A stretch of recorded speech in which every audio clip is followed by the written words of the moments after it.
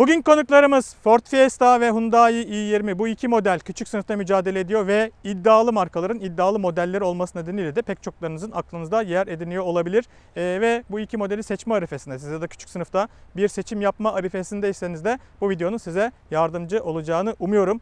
Bu yağmurlu günde çok fazla lafı uzatma niyetinde değilim. O zaman hızlıca videoya geçelim ve kim geçer görelim. Üreticiler rekabette iddialı olmak için sınıfları sunması gerekenleri çok çok iyi bildikleri için bu iki modelde Ford ve Hyundai neredeyse fikir birliğine varmış. Ford Fiesta'nın boyu 4 metre 4 santimken e, Hyundai i20'nin boyu da 4 metre 3 santim ama 35 milim aslına bakarsanız yani aralarında ikisinin 5 milimetre sadece boy farkı var. Tabii ki sunumlarda da bu doğal olarak benzer rakamlar ortaya çıkmasını sağlıyor aslına bakarsanız. Ford Fiesta'nın bagaj hacmi 295 litre buna karşılık Hyundai i20'nin bagaj hacmi de 301 litre. Yani sunumlar neredeyse kafa kafaya demek lazım. Genel olarak bagajın zaten alanı da aynı şekilde. Kullanışlık açısından baktığınızda da iki bagaj 3 aşağı 5 yukarı aynı özelliklere sahip. Yükleme eşiğiyle zemin arasındaki yükseklik farkı biraz fazla. Ee, ama dikdörtgen bagajlar yine de kullanışlık açısından çok önemli sorunlar olmayacaktır yani. Ee, küçük sınıftaki zaten sunumlar da bu araçlardan çok çok abartılı fark etmiyor. Genel olarak bütün modellerde buna benzer sunumlara sahip. Eğer bagajı genişletmek isterseniz her iki modelde de arka koltuk sırtlıklarını yatırabiliyorsunuz ama her iki modelde de düz bir zemin, basamaksız bir zemin elde etmeniz mümkün olmuyor. Yani uzun yükleri yüklemek istiyorsanız birazcık çaba göstermeniz gerekiyor bu iki araçta da. Sonuca bakacak olursak iki aracın aslında bakarsanız berabere kalmaları gerekiyor ama ben bir puanlama e, tablosu yapmak durumundayım ve bu puanlama tablosu da baremler içeriyor. Ve 300 litrenin üzerindeki bagaj hacimlerinde de fazladan puan geliyor. O nedenle de 1 litrelik aslında farkla i20 bu karşılaştırmanın bu bölümünün en azından galibi oluyor. Ama pratiğe dökersek işi, gerçek hayata dökersek bagajdan beklentileriniz bu iki otomobil aynı şekilde birebir neredeyse aynı şekilde karşılayabilecektir. Bakalım arka koltuklarda durum değişecek mi? İki üretici dış boyutlar konusunda anlaşmışlar ama aks mesafeleri konusunda farklı yollar izlemişler. Fiesta'nın aks mesafesi 2 metre 49 santim. Bu güncel küçük sınıf ortalamasının en alt tarafında yer alan bir aks mesafesi. Ve tabii ki bunun da sonuçları var. Benim boyum 1.75 bu sürücü koltuğu bana göre ayarlı. Burada gördüğünüz gibi bu, burası tam bana göre ayarlanmış. Sanki dizlerim e, ya da başım tam olarak buraya uyuyorum.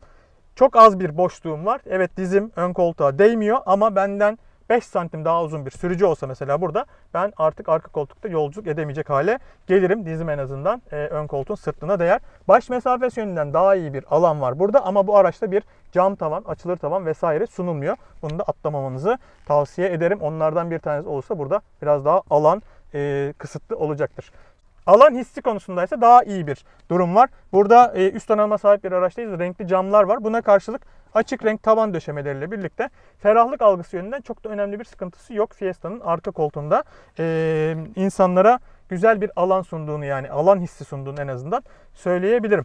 Diğer sunumlara geçiyorum. Kalite konusunda çok bir şey beklememeniz gerekiyor. Bunlar küçük sınıf üyeleri sonuç itibariyle ama tabii ki saklama alanları beklemeniz lazım. Ve bu araçta da bir mesela kapı içi cebi var. Şişeleriniz çok rahat e, alabilecektir burası ve Arkaya doğru da birazcık bölümü var. Birkaç tane daha eşyanızı alabilir. Dahası koltuk setlerinin arkasında da kullanışlı cepler mevcut. Son olarak da ortada bir havalandırma çıkışı USB portu vesaire bulunmamasına rağmen güzel bir saklama alanı bulunuyor. Buraya mesela cep telefonları çok rahatça sığacaktır. Laf ortaya gelmişken ortaya geçmek istediğinizde yüksekçe bir şaft tüneli var ya da orta yükseklikte demek daha doğru olabilir. Ama e, buradaki konsol biraz geriye doğru geldiği için bacağınızı öbür tarafa atmakta biraz sıkıntı yaşıyorsunuz. Eğer bunu başarabiliyorsanız gerisi biraz daha iyi. E, koltukların kızakları, ön koltukların kızakları geriye doğru çok fazla gelmiyor. Bu sayede ayaklarım hemen şaft tünelinin yanında durabiliyorlar. Ama bunun çok çok da önemi yok çünkü minderin bu bölümü bir hayli şişkin. Burada rahat rahat oturmak pek mümkün değil. Baş mesafesi yönünden bu haliyle Fiesta'nın tavanının bu haliyle yani açılan herhangi bir unsur olmadanki haliyle hala sınırlardayım. Güzel e, bir baş mesafesi olduğunu söyleyebilirim. Ama burada seyahat etmeyi yine de tercih etmem ki zaten küçük sınıf üyelerinin arka koltukları 3 yetişkin için düşünülmemiştir. Bu tarafa geri dönecek olursam söyleyecek bir şeyim yok. Çünkü kol dayanağı yok vesaire yok. Başka bir sunum da yok. E, ama güzel kocaman bir iç aydınlatması var en azından. Belki bu teselli olur. Bakalım i20 bunlara nasıl karşılık veriyor. i20'nin aks mesafesi 2 metre 57 santim yani rakibinden aslına bakarsanız 7-8 santim neredeyse daha uzun bir aks mesafesine sahip. Bunun direkt karşılıklarını arka koltukta hissedebiliyor musunuz derseniz tam olarak karşılıklarını hissedemeseniz de tabii ki farklar var burada. Hatırlatayım benim boyum 1.75 bu sürücü koltuğu bana göre ayarlı. Burada gördüğünüz gibi Fiesta'dan çok daha fazla değil ama e, biraz daha en azından dizimin değmesi için mesafesi var artık bu ön koltukların. Ve koltuğun altına doğru ayaklarımı sokabiliyorum. Biraz daha rahat, biraz daha kayıklarak belki seyahat etme imkanım olur buradan. En azından benden daha, biraz daha uzun sürücülerle bile arka koltukta ben artık seyahat edebilirim. Yani ön taraf için biraz daha fazla mesafe kalmış durumda. i20'de. Bunun dışında baş mesafesi konusunda Rakibiyle 3 aşağı 5 yukarı benzer bu araç ama burada bir açılır cam tavan mevcut. Açılır cam tavanda bayağı bir e, yer işgal ediyor. Eğer bu aracın tavanı normal olsaydı yani düz bir tavanı olsaydı e, Fiesta'dan daha iyi baş mesafe sunacağını da söylemek mümkün olurdu. Burada tabii ki birazcık e, nasıl diyeyim mühendislik e, bilimi devreye giriyor. Çünkü Bombed'in hemen arkasından ölçüyorum ben şu anda baş mesafesini ve böylece aslına bakarsanız makul bir baş mesafesi oluyor.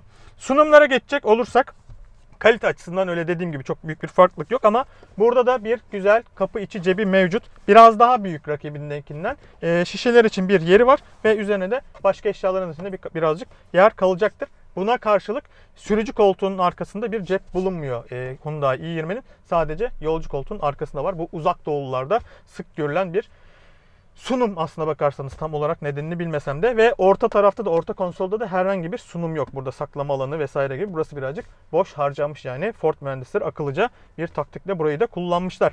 Orta bölüme geçecek olursak rakibinin yarısından daha küçük bir şaft tüneli mevcut ama yine de orada bir çıkıntı var. E, ortaya geçmek biraz daha rahat, ayağınızı daha rahat geçiriyorsunuz.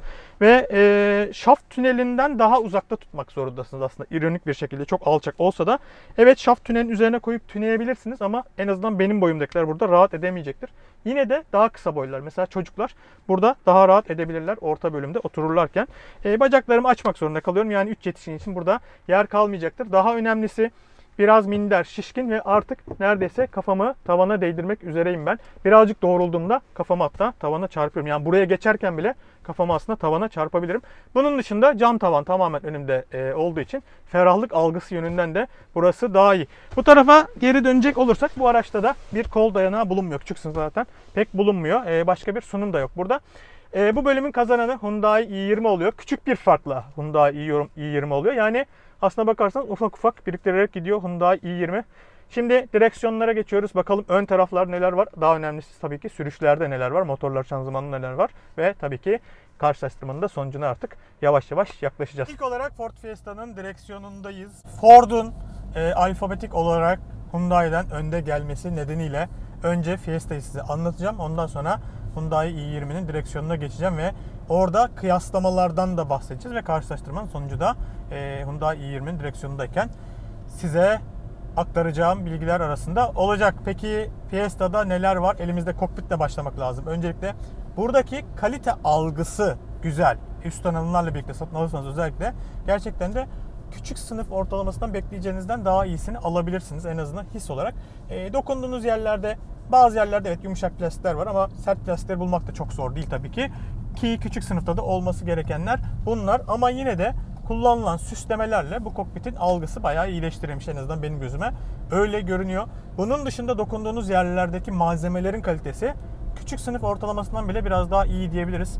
E, bu halde de aracı kullanırken, aracı sahiplendikten sonra gayet iyi hisler alabiliyorsunuz. Ford Fiesta'dan sinyal silecek kollarının sıkılığı mesela ya da direksiyon ve vites kolundaki derilerin dokusu bunların hepsi gerçekten de iyi olduğu yönler Ford Fiesta'nın. Kullanımda neler var diyecek olursak buradaki büyük e, ekran 8 inçlik bir ekran bu. E, bu ekran üst donanımla birlikte geliyor ve e, kullanımı kolay aslında bakarsanız. Güzel grafikler olan, çok iyi çözünürlüğü olan bir ekran var burada. E, hem müzik sistemi için aşağıda bir iki tane fiziki düğmesi var hem de buradaki dokunmatik menüden üzerinden de bütün araç ayarlarını yapabiliyorsunuz. Havalandırma kumandaları bu ekranın dışında alt tarafta konumlandırılmış. Bunun alternatifi yani bazı donanımlarda normal bir likit kristal ekranla geliyor. E, Ford Fiesta. Gösterge tablosu birazcık ilginç. Albany'den yoksun bir gösterge tablosu. Boyutu bile yok neredeyse hiçbir şekilde.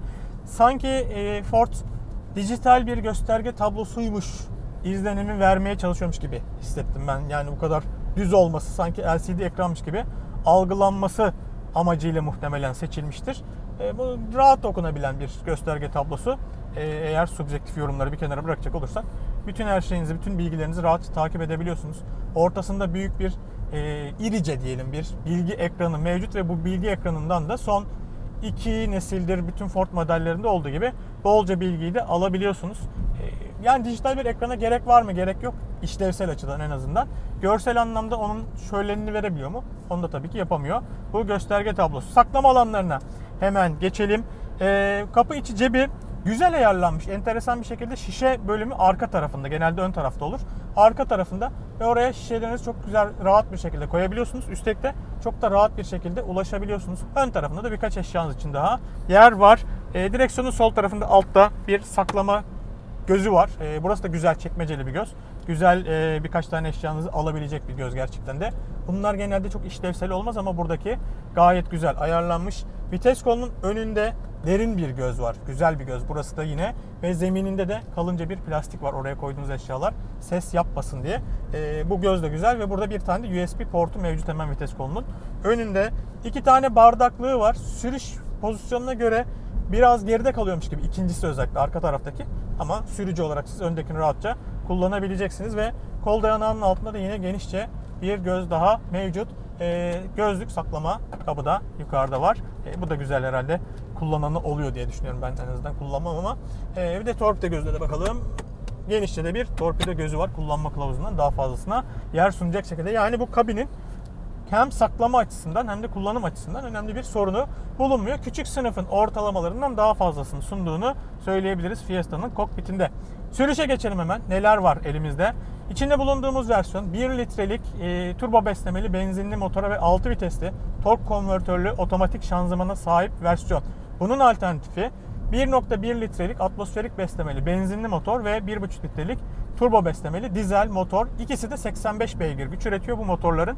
Bu içinde bulunduğumuz versiyon aynı zamanda Fiesta'nın en güçlü versiyonu. 100 beygir güç 170 Nm tork üretiyor. Buradaki 3 silindirli benzinli motor EcoBoost olarak adlandırılan motorun 100 beygirlik versiyonu var. Fiesta'da bu motorun 125 beygir güç üreten bir versiyonu daha var mesela Focus'ta kullanılan.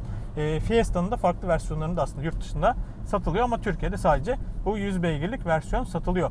Bu motorla ilgili bilmeniz gereken bu motor hacim küçültme çağının baş tacı edilen makinelerinden bir tanesidir. Pek çok ödül kazanmıştır. E, ve Ford'un da birazcık tutkulu bir şekilde hacim küçültmeye yaklaştığının da göstergesidir. Çünkü motor tanıtımında 1 litrelik motor yok neredeyse piyasada hiç. Ve 3 silindirli 1 litrelik bir motorla Ford çıka geldi. Bu motorun bazı versiyonlarında silindir iptali vardır mesela. 3 silindirinden bir tanesini iptal edebilir ve 2 silindirle yoluna devam edebilir bu motor. Böyle küçük bir motor için büyük bir teknoloji tahmin edersiniz ki. Bunun dışında motorun genel karakteri oldukça iyi. Özellikle tork üretim karakteri gerçekten de başarılıdır. Ve motorun turbo beslemeli olduğunu anlamazsınız. Turbo beslemeli motorların ne kadar yüksek teknoloji olurlarsa olsunlar, ne kadar ee, alt devirde torkunu üretmeye başlarlarsa başlasınlar birazcık turbonun nerede verimli çalıştığı, turbo devreye girmez. Böyle bir e, yanılsama vardır ama turbo marşa bastığınız andan itibaren devrededir. Çünkü egzoz gazıyla döner. Siz marşa bastığınızda da egzoz gazı e, çıkmaya başladığı için turboda dönmeye başlayacaktır doğal olarak. Ama verimli olarak çalıştığı devirler vardır ve bunları da siz aslında yolda rahatça anlarsınız. Bu motor söylediği sanki 1.6 litrelik atmosferik bir motormuş gibi davranıyor. Bunu başarıyor daha doğrusu.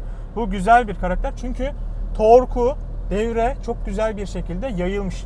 Bunun sonucu olarak mesela performans hissi gerçekten de güzel.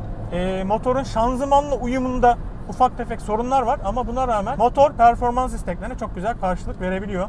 100 beygir güç ve 170 Nm tork. Bugünün şartlarında kendi hacim sınıfı için bile düşük sayılabilir. Çünkü artık 1 litrelik motorlar e, rahat rahat 120 küsür beygir güçler ya da e, 100 200 Nm civarında torklar üretebiliyorlar turbo besleme ile birlikte.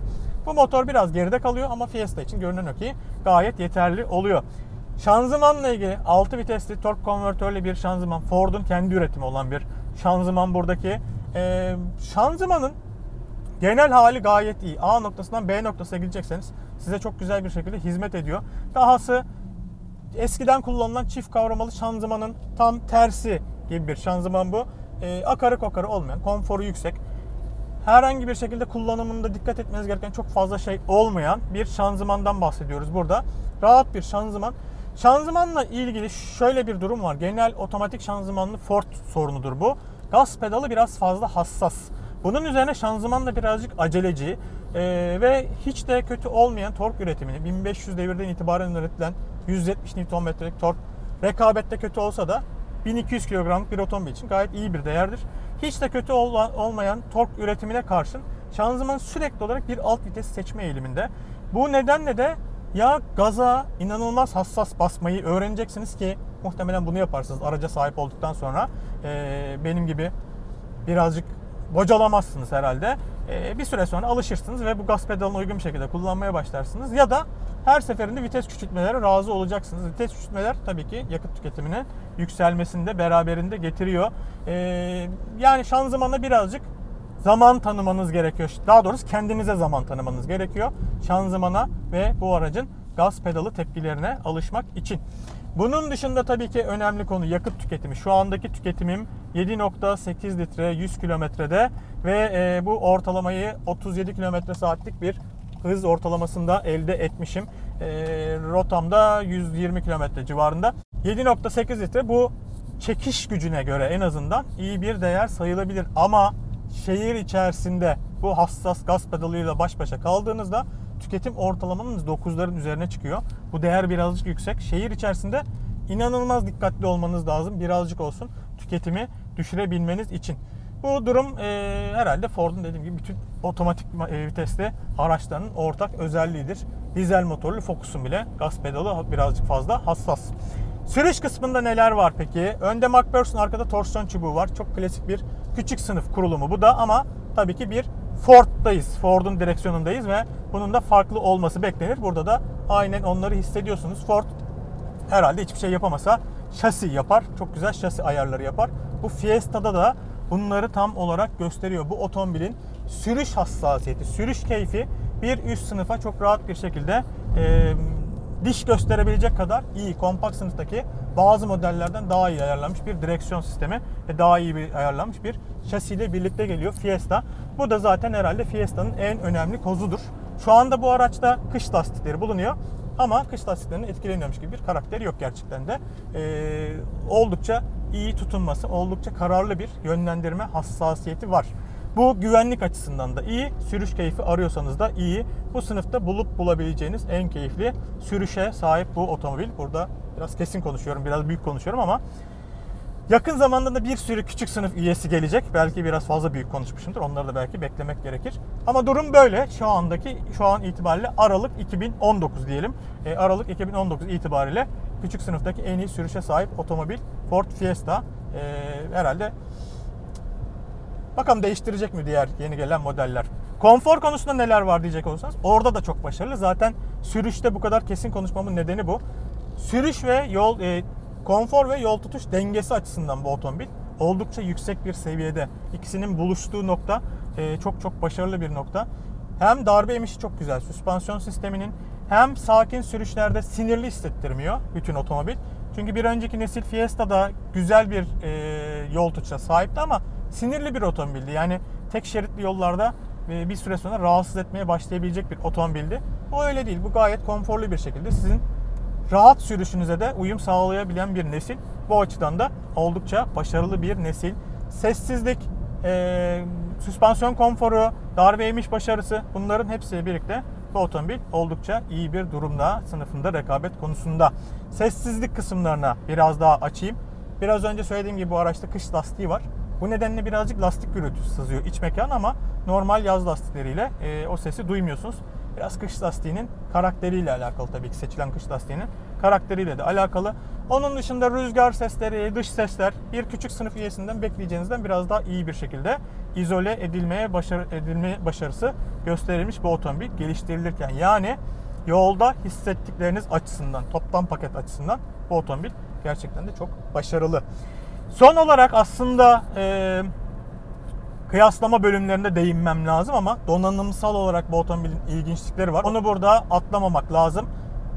Bu otomobili Bang Olufsen ses sistemiyle donatabiliyorsunuz. Anahtarsız giriş sistemiyle donatabiliyorsunuz. Otomatik park sistemiyle donatabiliyorsunuz. Bunların hepsi gayet güzel. Ama herhangi bir güvenlik donanımıyla donatamıyorsunuz. Ön hava yastıkları var. ESP'si var. Birkaç tane daha ESP ile birlikte çalışan elektronik yardımcısı var ve o kadar. Bununla bitiyor. Kör açı algılama sistemi olsun, e, yaya algılayabilen ya da normal herhangi bir e, bir şeyi algılayabilen bir çarpışma önleme uyarıcısı olsun. Şerit takip uyarıcısı. Bunların hiçbirini satın alamıyorsunuz. Onu da geçtim. Yan ve perde hava yastıklarını bu otomobille birlikte satın alamıyorsunuz. Dediğim gibi Aralık 2019 itibariyle bu durum böyle. E, bu otomobil piyasaya sunulduğunda çok yakın bir zamanda Volkswagen Polo da piyasaya sunulmuştu. Ve onda da yan veya perde hava yastıkları opsiyonel olarak sunuluyordu. Ama çok kısa bir süre sonra e, üretime dahil edildi. Daha doğrusu Türkiye'deki satışına standart olarak dahil edildi 6 tane hava yastığı ama Ford Fiesta'da bu henüz gerçekleşmiş değil. Umarım 2020 e, model yılında belki gerçekleşir. Böyle bir değişiklik yapılır e, Ford Fiesta'da ve böylece biraz daha güvenlik odaklı bir otomobil haline gelebilir Ford Fiesta. Bu kadar iyi yol tutuşu varken ne gerek var güvenlik önlemlerine diye düşünenler eğer çıkarsa onları da e, doğal seleksiyona devrediyorum. Doğa kendisi halletsin. E, geri kalanına. O zaman Fiesta ile ilgili durumlar bu. Hyundai i20'ye geçiyoruz şimdi. Rekabette bakalım neler var. İki otomobil karşı karşıya geldiklerinde neler ortaya çıkıyor ve tabii ki karşılaştırmamızın sonucu nereye varacak bunları göreceğiz. E, o zaman i20'deyiz. Şimdi de Hyundai i20'nin direksiyonundayız. Bu son videoda artık etekteki taşların tamamı dökülecek ve i20 ve Fiesta arasındaki karşılaştırmada kimin kazandığı ortaya çıkmış olacak. Peki iç mekanlardan başlayalım tabii ki öncelikle. Ee, i20'nin kokpiti, i20 yaşlı bir otomobil artık. Muhtemelen önümüzdeki yıl yeni nesil i20 ile tanışırız. Önümüzdeki yıl satışa sunulmasa bile en azından tanışmış oluruz ve 2021'de de en geç yeni nesil i20 yollara çıkmaya hazırlanır. Yani iki aracın arasında Fiesta ile i20'nin arasında yaklaşık olarak bir yarım nesil civarında bir fark var. Çünkü i20 yenilendiğinde de Fiesta'nın makyajı çok yaklaşmış olur. Yarım nesillik bir fark var. İç mekanda bunu daha fazla hissediyorsunuz. Çok daha e, ara açıkmış gibi hissediyorsunuz. Biraz daha fazla albeni ihtiyacı vardır belki i20 kokpitinin. Genel olarak malzeme kalitesi açısından tırnağınızı batırmayı seviyorsanız aynı şeylerle karşılaşıyorsunuz ama mesela alt taraftaki plastikler biraz daha kaygan hissettiriyor. Ee, üst taraftaki plastikler de ele tam olarak öyle dokunduğunuzda tam o kalite hissini vermiyor. Kalite hissi açısından, kalite algısı açısından Fiesta bir adım daha ileride bu otomobile göre. Burada da en üst donanıma sahip bir aracın direksiyonundayım. Şu anda her zaman olduğu gibi tabii ki. E, ama gördüğünüz gibi öyle çok lakeler ya da e, çok çekici malzemeler burada sunulmamış. Hyundai biraz daha e, nasıl diyeyim küçük sınıfın gereklerini yerine getirmekle yetinmeyi tercih etmiş gibi gözüküyor. E, Ford biraz daha sanki bazı bilinenleri değiştirme çabasındaymış gibi hissettiriyor. Genel olarak sunulanlar açısından baktığınızda kalite hissi dışındaki sunulanlar açısından baktığınızda burada da yine büyük bir ekran geliyor üst donanımlarla birlikte. Bu ekran yine kullanışlı. Hem fiziki düğmeleri var hem de dokunmatik hassasiyeti oldukça başarılı. Ekranla ilgili bilmeniz gereken genel olarak çok rahat kullanıldığı, e, çözünürlüğünün güzel olduğu, renklerinin, grafiklerinin gayet iyi olduğu ama bu ekranın araç ayarları için kullanılmadığı, araç ayarlarını yapmak istiyorsanız gösterge tablosundaki ekranı kullanmanız gerekiyor. E, ama bunun dışında geri görüş kamerası vesaire her şeyi gayet yerinde, gayet güzel çalışan bir ekran. E, burada da havalandırma kumandaları ekrandan ayrı olarak aşağıda tasarlanmışlar. Analog bir gösterge tablosu var yine. Daha fazla boyuta sahip olan biraz daha süslü bir analog gösterge tablosu rakibindekine göre. Ortada yine genişçe bir bilgi ekranı ve bu ekranda oldukça fazla veriyi size aynı anda sunabiliyor. Rahat bir şekilde işlemlerinizi yapabiliyorsunuz. Araç ayarlarını yapmak da direksiyon üzerindeki düğmeler sayesinde sorun değil ama burada kocaman bir ekranınız varken bunu kullanmak tabii ki çok daha kolay olurdu araç ayarlarını yapmak için. Saklama alanlarına geçelim hemen. E, kapı içi cebi güzel e, büyük şişeler için yer var burada da tıpkı Fiesta'da olduğu gibi ama mesela büyük bir şişeyi buraya koyarsanız eğer buradaki şişe yerine koyarsanız o zaman kapının kapı cebinin geri kalanını kullanmak biraz daha zor oluyor. Burada Fiesta'da daha iyi iş çıkartılmış. Kapı içi cebi açısından baktığınızda vites kolunun önünde yine çok güzel bir cep var. Bu cep derinliği de güzel, kenarları da iyi gayet ve genişliği de gayet iyi ayarlanmış ama bu cebin altında bir yumuşak plastik yok. Ne koyarsanız koyun oraya ses çıkartıyor. Cep telefonunuzu da koysanız, anahtarınızı da koysanız sürekli orada oynadığı için e, ses üretiyor. Rahatsız olursunuz muhtemelen bir yerden sonra. Burada iki USB portu, aracın iki USB portu da e, burada yer alıyor. Fiesta'nın ikinci USB portu kol dayanağının altında yer alıyor. Yani bunların hangisinin daha iyi olduğu herhalde kişisel e, beklentilere göre seçilecektir. İkisi de makul yerleşimler sonuç olarak. Vites kolunun arkasında iki tane bardaklık var. Bu bardaklıklar birazcık küçükler ama e, genel ihtiyaçları göreceklerdir. Küçük şişelere ya da e, olağan boyuttaki kahve bardaklarını mesela rahatça ev sahipliği yapabiliyorlar. Bu bölüm. Burada da yine bir zeminde e, plastik eksiği var. Ve kol dayanağının altında rakibinden biraz daha küçük bir göz bulunuyor. Burada da e, gözlük saklamak için bir alan mevcut. Böyle baktığınızda da saklama alanları konusunda iki araç da oldukça iyi. Günün beklentilerini rahatça karşılıyor. Ama kokpitin genel sunumu açısından e, ve hatasızlığa daha yakın olduğu için Ford Fiesta kokpit bölümünün kazananı oluyor. Peki sürüşlerde neler var? İçinde bulunduğumuz versiyon 1 litrelik benzinli motora ve çift kavramalı otomatik şanzımana sahip i20 versiyonu. Bunun alternatifleri i20'de biraz daha fazla alternatif var. Yine 1.2 litrelik baz bir atmosferik beslemeli motor bulunuyor sadece manuel şanzımanla satılan. E, Fiesta'daki bunun karşısı 1.1 litrelik atmosferik beslemeli motor ve e, arada farkı oluşturan da 1.4 litrelik ikinci bir atmosferik motorun daha varlığı Hyundai i20'de ki bu motor sadece otomatik şanzımanlı ama bu sefer 4 vitesli tork konvertörlü bir otomatik şanzımanlı sunuluyor. Yani Hyundai i20 benzinli otomatik isteyenler için iki farklı alternatife sahip nasıl kullanmak istiyorsanız, nerelerde kullanmak istiyorsanız ve öncelikleriniz hangisi ise daha önemlisi e, onu tercih edebilin diye ve bir tane de dizel alternatifi var. 1.4 litrelik dizel motor sadece manuel şanzımanla birlikte geliyor. Peki içinde bulunduğumuz versiyonda neler var? Çünkü bu karşılaştırma bu güçlü benzinli motorlar üzerine kurulmuş bir karşılaştırma. 120 beygir güç ve 172 Nm tork üretiyor. Buradaki 3 silindirli benzinli motor. Motorların hacimleri aynı, silindir sayıları aynı ve sunumları da aslında bakarsanız çok uzak değil. E, Fiesta'da söylediğim gibi Ford'un da aslında bakarsanız bu civarlarda güç üreten bir 3 silindirli benzinli motoru mevcut ama Fiesta'da 100 beygirlik versiyon kullanılıyor. Yoldaki hislere geçtiğimizde beklenenden daha farklı oluyor aslında bakarsanız. Kağıt üzerinde i20'nin avantajları çok malum. Hem beygir gücü daha fazla hem de çift kavramla şanzıman da aktarma açısından daha direkt karşılıklar sunabilen, daha az güç kaybıyla çalışan bir şanzıman türüdür. Ama şehir içerisindeki hızlarda özellikle yani nispi olarak daha düşük hızlarda Fiesta daha atak, daha canlı hissettiriyor.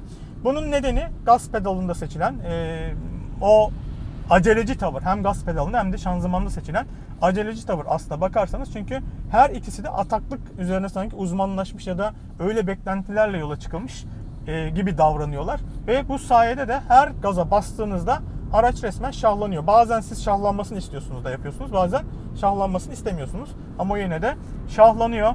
E, bu nedenle de ya da bu sayede de hangi taraftan bakarsanız artık e, Fiesta düşük hızlarda, nispi olarak düşük hızlarda daha canlı, daha atak hissettiriyor. Otoyol hızlarına çıktığınızda ise çevre yoluna ya da çıktığınızda ise veya hızınız 100 km saatin üstüne taşındığında ise kararlılık açısından i20 daha iyi bir konuma geliyor.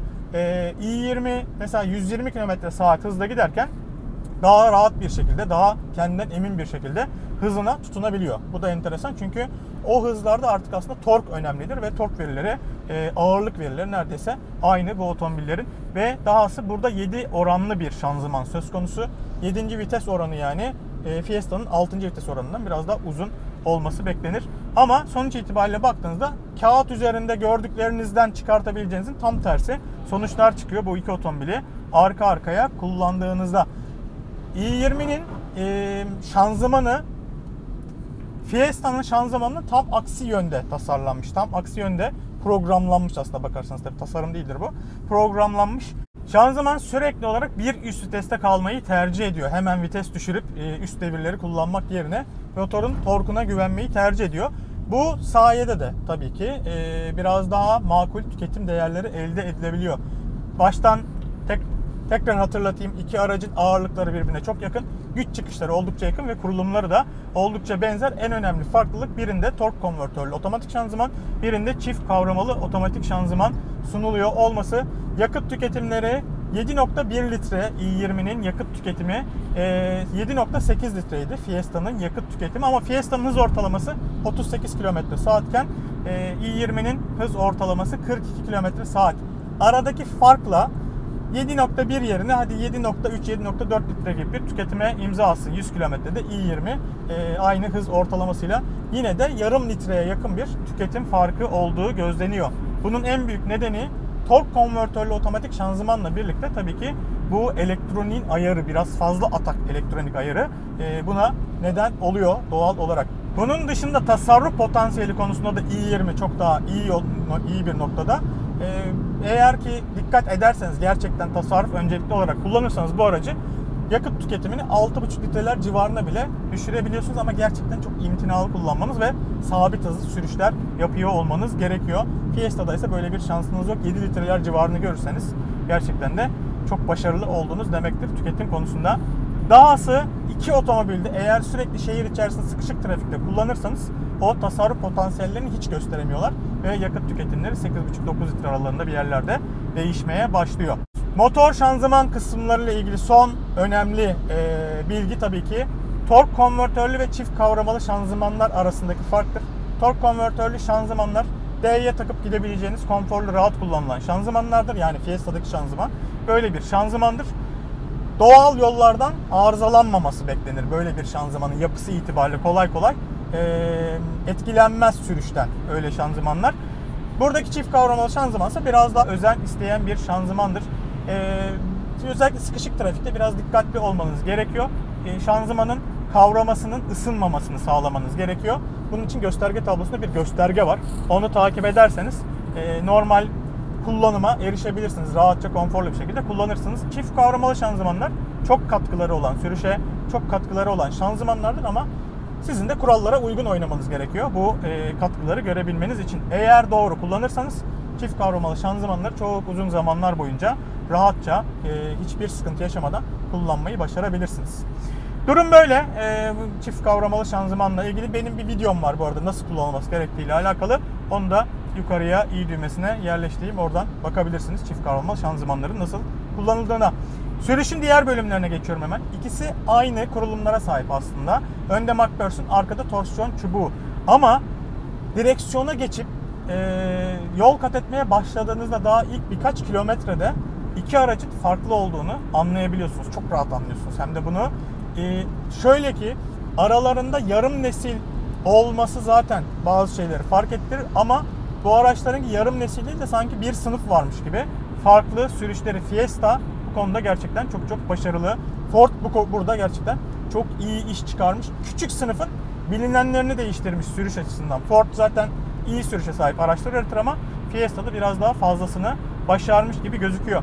Direksiyonu mesela i20'nin gayet net ayarlanmış. Hızlı çalışıyor ve sizi çok rahat bir şekilde e, yönlendirme yapmaya teşvik ediyor. Ama mesela Fiesta'nınki daha hızlı çalışıyor, daha net çalışıyor ve daha kesin çalışıyor. Ve bunların hepsini sinirli olmadan yapıyor. Bu direksiyon sen bunların hepsini hissizlikle yapıyor. Yani geri bildirimleri olmadan yapıyor. Fiesta bu açıdan daha iyi bir pakete sahip. Yol tutuş becerisi konusunda i20'nin de özel bir eksikliği yok. Ee, ama mesela önden kayma eğilimi daha erken geliyor ve ee, mesela hızlı virajlarda biraz daha fazla salınım hissediyorsunuz. Çünkü süspansiyon sistemi biraz daha yumuşak ayarlanmış. Buna karşılık daha konforlu değil Fiesta'dan. Çünkü Fiesta'nın en büyük darbelerdeki tavrı bile e, daha olgun, daha başarılı, çok daha güzel bir şekilde filtreleyebiliyor uç noktaları. Burada ise birazcık kütürtü hissediyorsunuz. Birazcık e, metalik sesler duymaya başlıyorsunuz. Birazcık vuruntu hissetmeye başlıyorsunuz. Şu üzerinde gittiğim gibi yol e, işaretlemelerini mesela Fiesta tamamen sönümleyebiliyor. Tamamen yok edebiliyor. Ama burada i20'de bunların hepsini hissedebiliyorum. Bu araçta da kış lastiği mevcut. Bu arada e, kış lastiği tabii ki bazı şeyleri değiştirir ama iki araçta da kış lastiği olduktan sonra çok da önem taşımıyor. Rekabet açısından aynı şeyleri sunduğu için. Konfor konusuna geçtiğimizde lastiklerden devam edelim kış lastiğinden bahsetmişken. Belirgin bir lastik gürültüsü var şu anda bu aracın içerisinde ama i20 aslında o kadar lastik gürültüsü alan bir otomobil değil. Buradaki kış lastikleri ya da bu aracın üzerinde takılı olan lastiklerle ilintili bir sorun olmalı. Çünkü sürekli olarak lastiğin net bir şekilde e, gürültüsünü duyabiliyorsunuz. Dediğim gibi normal bir lastikle i20 bu kadar e, lastik gürültüsü üretmiyor ama diğer sesler konusunda Fiesta biraz daha iyi izole edilmiş. Yani e, konfor, yol tutuş, neredeyse sürüşün her konusunda motor şanzıman dışındaki bölümlerde sürüşün diğer konularında Fiesta gerçekten de bir adım, bir gömlek daha yukarıda belki de. E, çok çok iyi işler başarmış gözüküyor. Konfor konusunda bitirdikten sonra sanırım sürüşün sonuna gelebiliriz. Atladığım bir konu yoktur umarım. Sürüş bölümünün kazananı Ford Fiesta oluyor. Ee, evet motoruyla konusu e, motoruyla alakalı ya da motor şanzıman uyumuyla alakalı ufak tefek sorunları var ama o Fiesta'nın direksiyonuna geçtiğinizde kendinizi daha mutlu hissedeceksiniz i20'ye göre. Gerçekten de çok rafine ve pek çok kompakt sınıf üyesine ders verecek kadar iyi bir sürüşe sahip Ford Fiesta. Hangi motor şanzıman seçeneğiyle alırsanız alın bu da çok fazla değişmeyecektir. Buradan güvenlik bölümüne geçebiliriz. Tabii ki oralarda çok önemli. Bazı versiyonları kıyasladığınızda iki otomobil birbiriyle eşler. Neredeyse e, sadece ön hava yastıkları sunuluyor ve bunun üzerine de başka bir şey alamıyorsunuz. Ama üst donanımlara çıktığınızda fark açılıyor. Çünkü Hyundai i20'nin üst donanımla birlikte yan ve perde hava yastıkları devreye giriyor.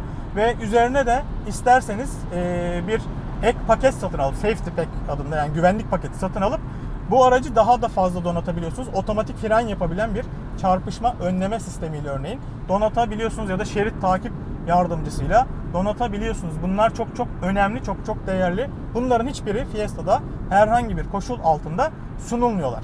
Bu çok eksik. Ee, yani Ford neredeyse Türkiye'ye gelen Fiesta'lardan Isofix'leri çıkartacakmış.